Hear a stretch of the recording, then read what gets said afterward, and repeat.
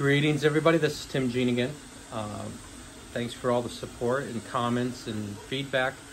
Appreciate it. Um, like I said, I'm new. I don't know what anybody's interested in. I'm just recording what my experiences are, um, which is why the channel is named Experience Preferred. I want to experience things, not just be told about them, and help you experience the same things. Um, first thing I want to talk about is this pangolin. Uh, my first time lapse was this in black. This is one's in uh, glow in the dark as my daughter requested. Very good print. Came out beautiful on the AnkerMake M5. No supports, no adhesion issues. Worked great. Um, I also want to talk about this. So I've been trying various filaments, and this was one that was given to me to try. This came from a company called Leefung, L-E-E-F-U-N-G. It's available at some of the Amazon international sites, but not available in the U.S., which is what piqued my interest. And it's garbage. Um, these are some examples of prints that I started doing. It didn't come out smooth. It was very globby. Um, and it had a lot of adhesion problems. And here's a raft I tried using to improve the adhesion, and it just falls apart. It's not a good option. Um, another perfect example is this is the raft from the Leefung filament. Using the same G-code, changing nothing but the filament. This is the same raft using Matchbox, excuse me, Hatchbox. Leefung, Hatchbox. Big difference, and all the thing. The only thing that changed was the brand of filament. Another good example from the Hatchbox. Adhere very well. It's got great surface on the bottom. Um, I like how this prints that bottom surface because um, it's, it's very strong. And that brings me to what this was for. I have a Dell monitor here that I wanted to mount on this Gladiator gear track system.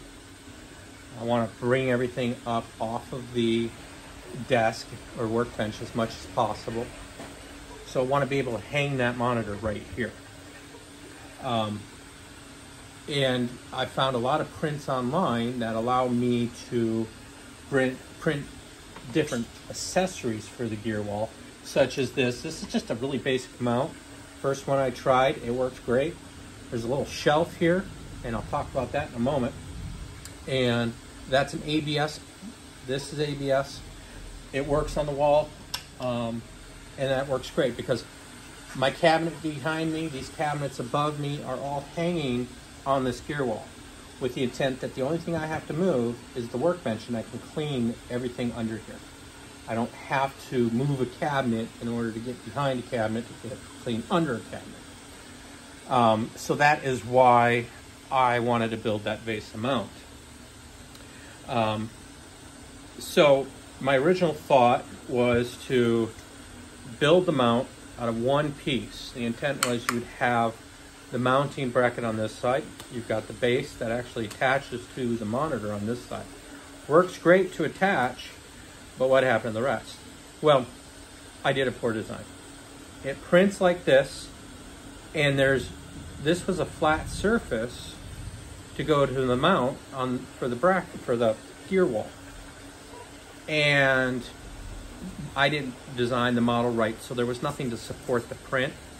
So I decided to do a two-part print. And part number one is the VESA mount, and it's threaded. So I could build part number two, which is the part that actually attaches to the wall. And this part would screw onto that and the monitor to that. It worked pretty well with one problem. On here, you've got this outer wall that adds thickness and stiffness, and you have an inner wall in the threads that add thickness and stiffness. So it had no problem. On here, you just have one outer wall and then one outer wall with 10% infill.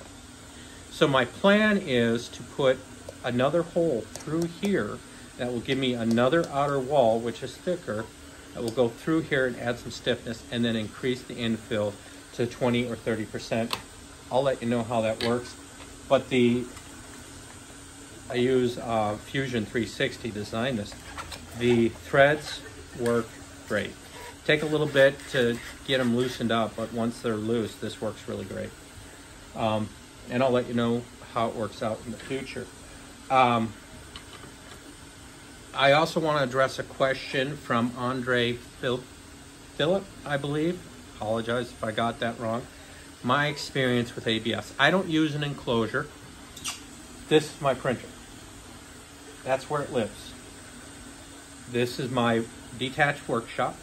I do have over here in the corner, you can see my AC unit. So it is heated and cooled in here. I haven't run that in two or three months. Once it got a little bit cooler from the summer heat, um, I haven't run it. It It's comfortable in here, t-shirt, um, sufficient.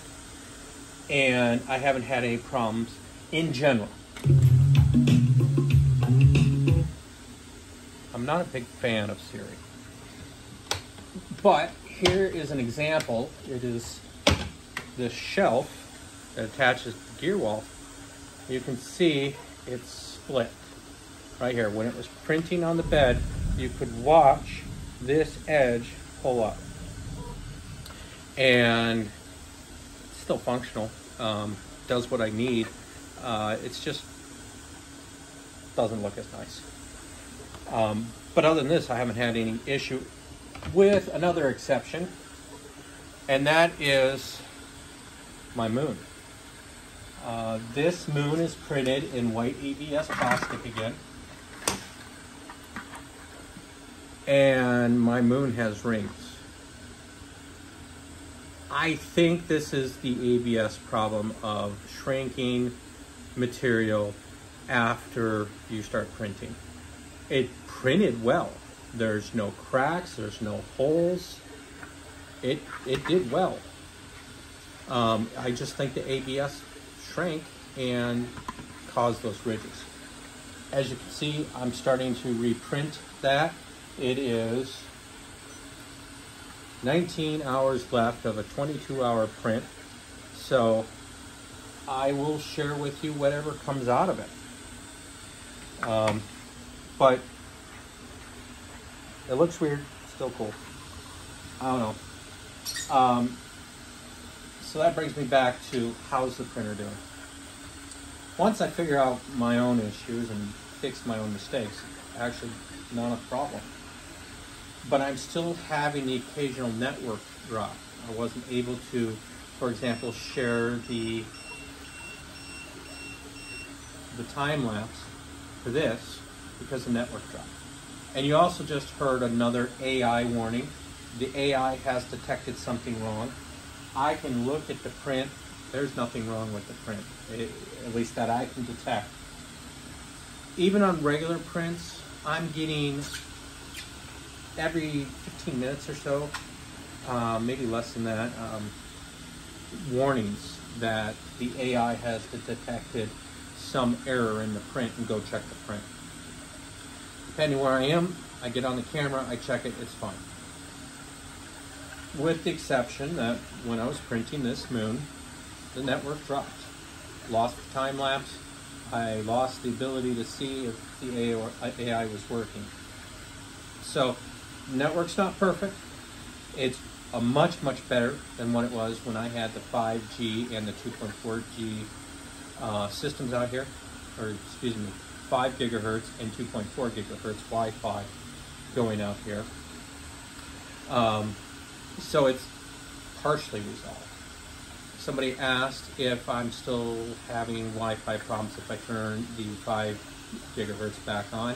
Yes, I have more problems if I turn it back on, even though it's now activated and associated uh, than when it's off.